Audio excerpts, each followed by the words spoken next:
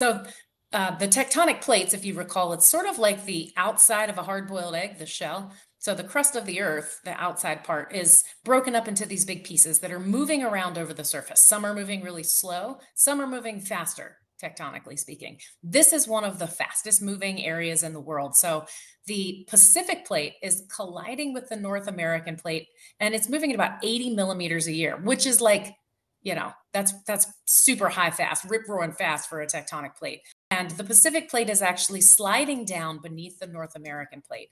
So this is called a subduction zone boundary and this is the kind of boundary that can host the largest earthquakes in the world. So this is called a subduction zone boundary and this is the kind of boundary that can host the largest earthquakes in the world.